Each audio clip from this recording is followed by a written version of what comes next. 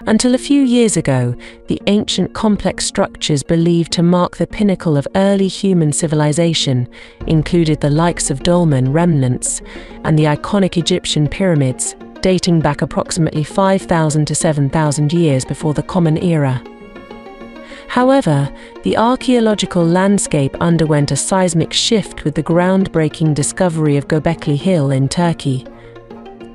This revelation forced a re-evaluation of our understanding, pushing the origins of sophisticated civilizations and advanced construction techniques back to an astonishing 10,000 years before Christ. The assimilation of Göbekli Tepe into mainstream historical narratives took about two decades, highlighting the resistance to challenging established beliefs. Nevertheless, as the dust settled, this archaeological revelation became an accepted part of our ancient history. In the ongoing exploration of humanity's past, a recently unearthed structure in Indonesia, known as the Gunung Padang site, has taken center stage. This site, if recognized, could potentially extend the timeline of civilization by an additional 15,000 years, challenging the boundaries of our historical knowledge. Notably, a group of courageous scientists has championed the cause, presenting Gunung Padang to the world. However, the reception from mainstream history has been met with skepticism, with attempts to downplay its significance already underway. The unfolding discourse surrounding Gunung Padang exemplifies the continual tug of war between groundbreaking discoveries and the established historical narrative the outcome of this intellectual struggle holds the potential to either illuminate the obscured chapters of human history or consign them to the shadows once again. Welcome to the Spacey Sagas channel.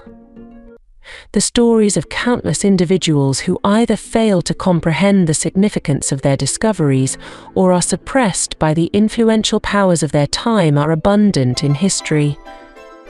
For instance, Nikola Tesla's groundbreaking work on electricity technologies and Rosalind Franklin, one of the scientists who first discovered the double helix structure of DNA, faced neglect, with Franklin's contributions overlooked merely because she was a woman.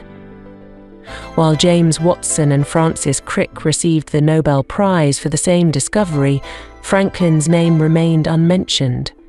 Numerous examples of such instances abound, and the world of archaeology is no exception. Göbekli Hill, initially discovered by Istanbul University, provides an illustrative example.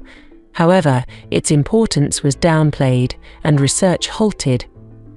It took 30 years for Klaus Schmidt and his team from Heidelberg University to reignite interest and secure Göbekli Hill's place in history. Similarly, a comparable incident occurred in the Dutch East Indies in 1914 during the colonial period in Java. Colonizers, drawn to the region's cleared areas, started to spread and learn about local legends.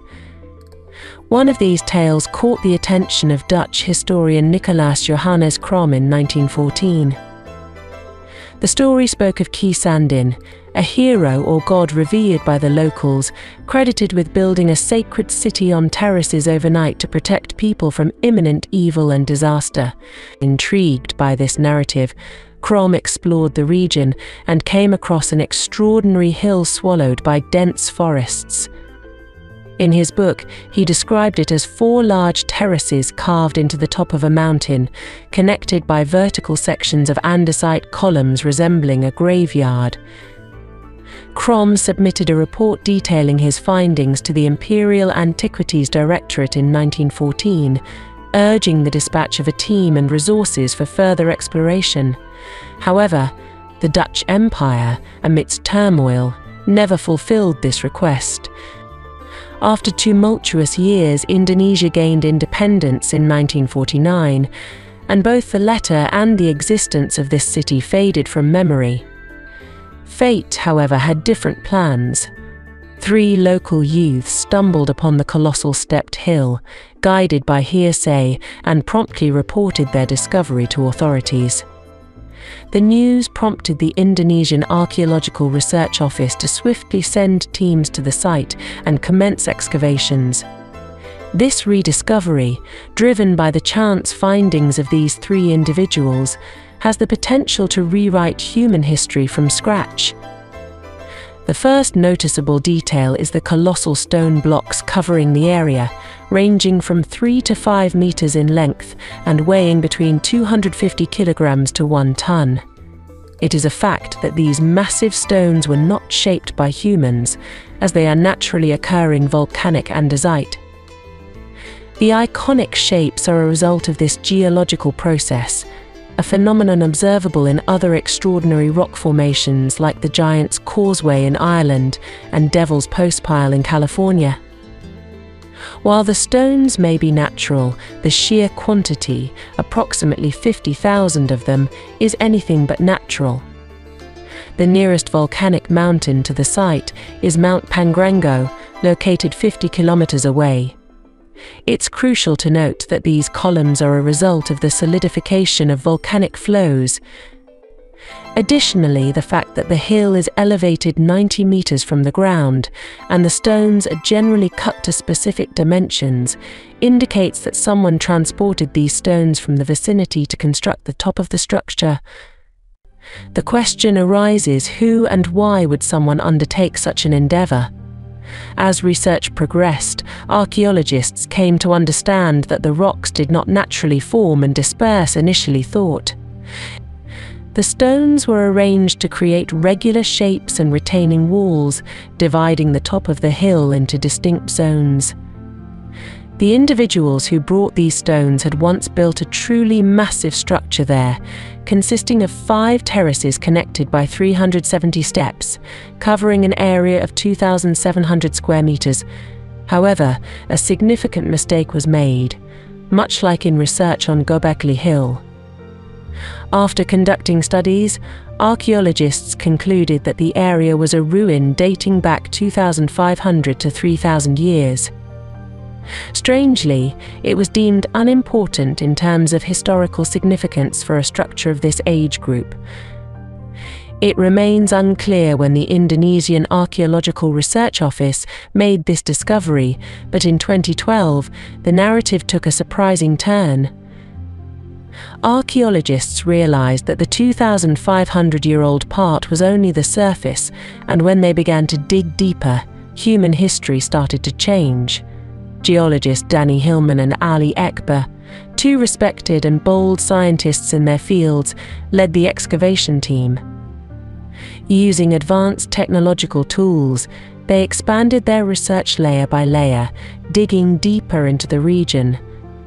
Ali Akbar announced a significant finding when they reached a depth of 4 meters, revealing a cultural layer under the hill. According to carbon dating, this layer dates back to 5,200 years before Christ. The intrigue deepens as the team employs advanced techniques such as ground penetrating radar, seismic tomography, and core drilling to analyze the region's three different layers. They discover that each layer contains both human made artifacts and an astonishing progression back in time. The second layer, situated 4 metres below the surface, dates back 7,500 to 8,000 years ago. The third layer, at a depth of 15 metres, astonishingly reaches back nearly 28,000 years. How is such a thing possible? Taking the 4 metre layer as a reference, if we assume the structure is 7,500 years old, it predates the Sumerian civilization by nearly 3,000 years.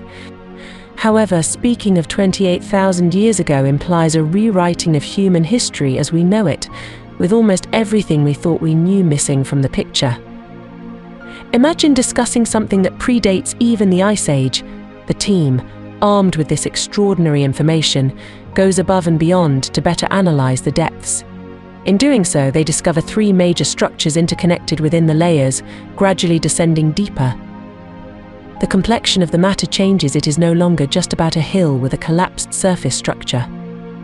What appeared to be a hill is, in fact, a colossal stepped or terraced pyramid covering a vast 15 hectare area, constructed layer upon layer over thousands of years during different periods. As Danny Hilman explains the findings, we are talking about a human made structure becoming more sophisticated as they delve deeper, a structure rivaling the pyramids of Egypt and the colossal megaliths of Europe, built by a lost civilization.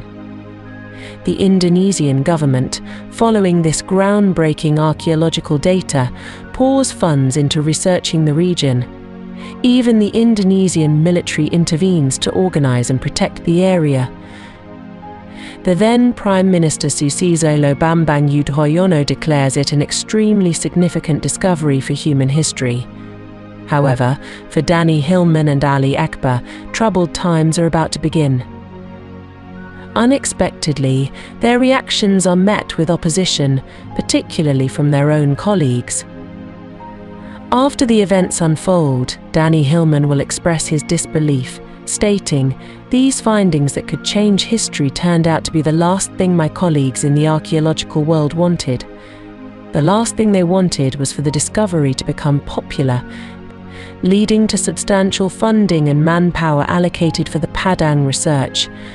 Budgets are constrained for the Padang excavation. In fact, there are cases where individuals have received funding for years without making any significant progress. There's also the issue of political lobbying, with project opposing archaeologists using their influence to bring all research to a halt. Mainstream academics, who have their own interests and a vested status quo, resist change vigorously. The primary request from these academics is simple to entirely cease research. The reason behind this insistence is the belief that nothing over 5,000 years old could logically exist in the region. According to mainstream historical perspectives, complex structures were only possible with civilizations like the Sumerians. Anything before them having advanced civilizations is deemed illogical. They argue that the researchers are engaging in speculative work, diverting the entire budget towards imaginary projects. Facing this opposition, Danny Hilman reflects in an interview, saying, I was aware that I was throwing myself into hot water with these claims. Even though the findings we put forward are scientifically valid, we were fighting a much bigger battle here. This battle is not just about scientific data, it's about challenging established norms and confronting the resistance of mainstream academia against change. As the region, once covered by dense forests, is cleared, opening up new excavation areas, archaeologists make a remarkable discovery in the second cultural layer at a depth of 4 meters. They find an artifact resembling a coin dating back to 5,200 years before Christ. Archaeologists continue to debate whether this object is genuinely a coin or perhaps a decorative item. The significance lies in the possibility that if it is indeed a coin from 5,200 years ago, it challenges the commonly held belief that the first coins were minted by the Lydians in the 7th century BC. To confirm this, further excavation and the discovery of similar coins in the layers are required. Another surprising discovery in the same layer is the pyramid-like structure of the terraced walls of the site. Amidst the blocks of the retaining walls, archaeologists find ancient mortar. The composition of the mortar is intriguing 14% clay, 45% silica, and 45% iron. This is intriguing because the Iron Age as we know it did not commence until around 1200 BC. Before that, this technology was used in a basic form at sites like Kaman Kalehöyük around 2000 BC. However, it's essential to consider that the region is filled with volcanic materials, so the presence of iron in the mortar doesn't necessarily confirm human-made origins volcanic remnants could contribute to this composition. Offering another interesting detail about the site, Gunung Padang translates to Enlightenment Hill. The name is chosen to signify a spiritual aspect, as legends depict the area as a sacred space for enlightenment rituals and ceremonies throughout the ages. The origins and continuity of these rituals remain unknown, as the modern world became aware of the structure only a century ago. In 1979, the Indonesian government took renewed interest in the area. The rituals could have been practiced by individuals who knew the region but kept it a secret, or they might have been passed down through generations. Contrary to the claim by the Dutch explorer who discovered the site in 1914, stating it was a massive cemetery, no human bones have been found. Instead, the presence of a collapsed structure and the absence of human remains support the notion that the site is more of a temple like area than a graveyard. Additionally, priests in the region believe that the stones possess special qualities for spiritual enlightenment and meditation. While this may seem speculative, studies have indeed shown that the stones emit a high level of electromagnetic radiation, validating the priest's claims. This is an intriguing discovery, and while it could be natural due to volcanic activity in the region, what's truly fascinating is the interaction with the stones, causing some to produce musical frequencies. Research has indicated that striking certain stones with the four frequencies used in Western music results in unique sounds. Considering the deep connection ancient civilizations had with sound, this information is far from trivial, it's genuinely fascinating. By the way, in most videos on this channel, and in this video as well, I provide the documents, sources and books mentioned in the claims in the description. Those interested should not forget to check that section. During the Indonesian elections, there is a change in government, with Joko Widodo replacing Susilo Bambang Yudhoyono as the president. Mainstream archaeology finally achieves its dream. After Widodo takes office, one of his initial actions is to completely halt the research at Gunung Padang. He is still in office today, and the research at Gunung Padang remains suspended, abandoned to its fate. However, an unforeseen turn of events took place in the region. In the midst of all these unusual discoveries, a significant development occurs. Indonesia undergoes an election, leading to a change in government, and Joko Widodo is replaced by Jokowi.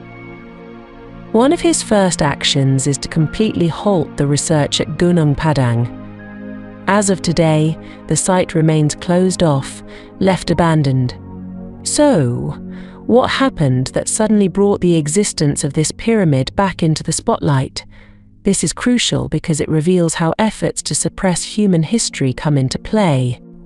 On November 20th, 2023, Danny Hilman's article containing all the data about Gunung Padang is published in the academic community. The news spreads instantly on social media and scientific websites, reigniting the debate around Gunung Padang, the article summarizes all the technical details I presented earlier, directly prepared by the lead archaeologist of the site. Interestingly, the archaeological community is shocked by the publication of this article in a mainstream academic channel like Nature. In fact, a probe has been initiated against Nature magazine and the individuals responsible for publishing the article due to this unexpected development. Look, when scientists disagree, especially when it doesn't align with their preconceived notions, it's a perfect example of how they attack each other. A live example of this is unfolding right now. Among the critics, we have archaeologist Fintan O'Wyl from Cardiff University. In response to the notion presented in the article that the stones were used to construct an orderly retaining wall, he has provided a counter argument that word for word, claims the rolling rocks could have naturally formed this shape. Now let me show you what he means by naturally formed rolling stones with another example. Another archaeologist, Bill Farley, from the University of New Haven, has also presented an antithesis against the article. He argues that since no human bones or coal residues, which would be indicative of heating sources for hunter gatherers, have been found in the area, it cannot be attributed to human construction.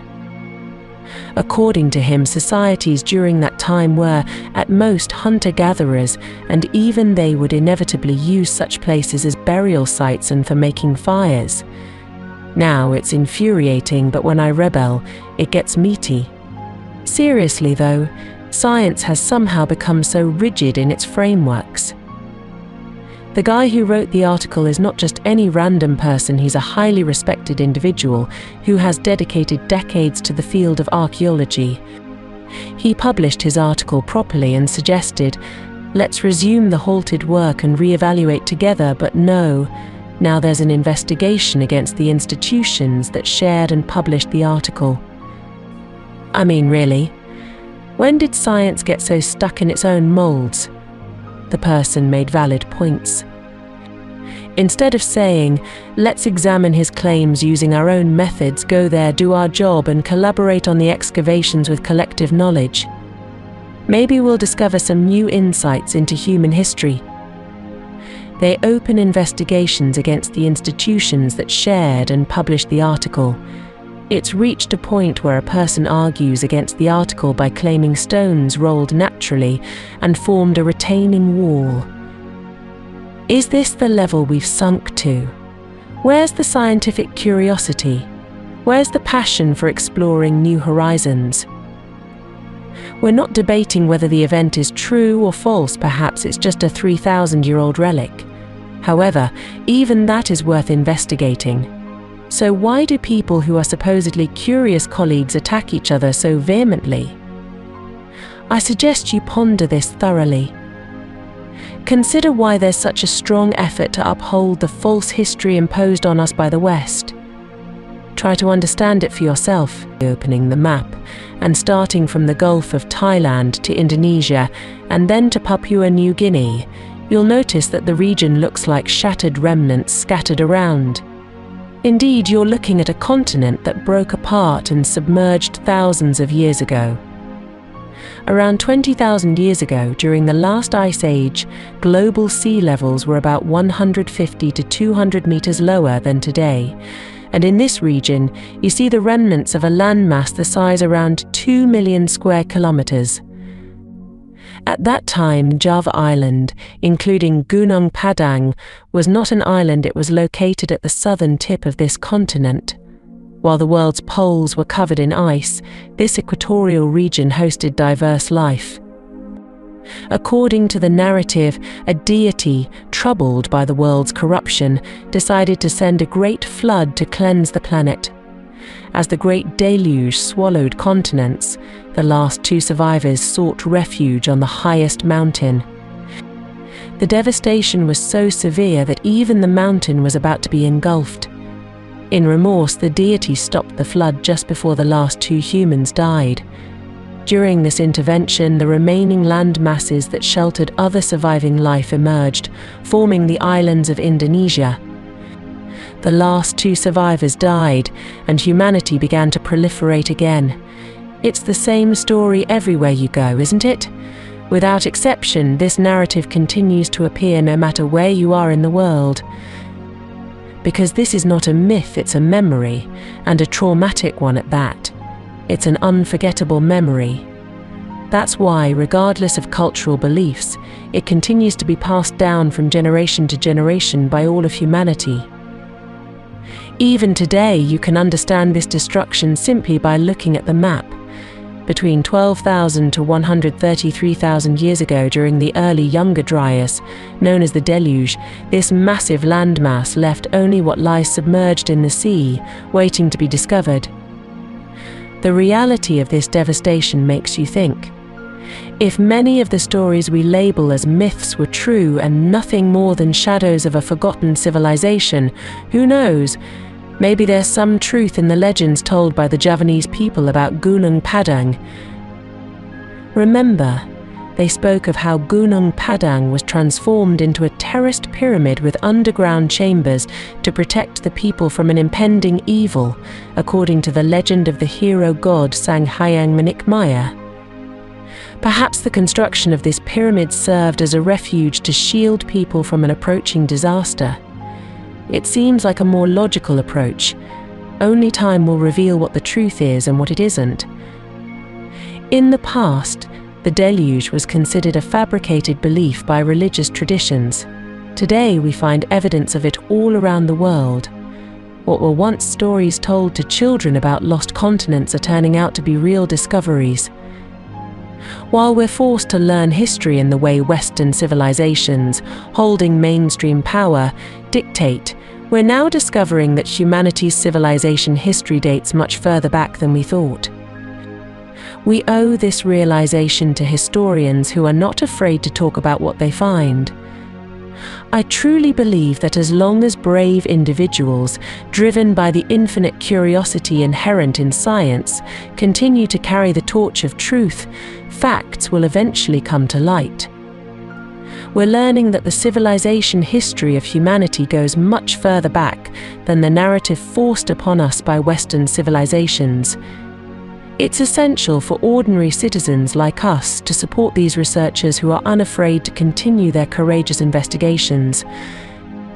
Only then can humanity find the truth as millennia old imposed narratives crumble and the reality of our history emerges from beneath the waters and earth.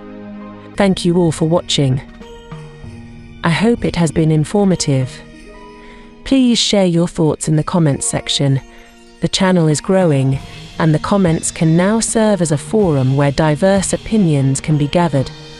Until next video, take care of yourselves.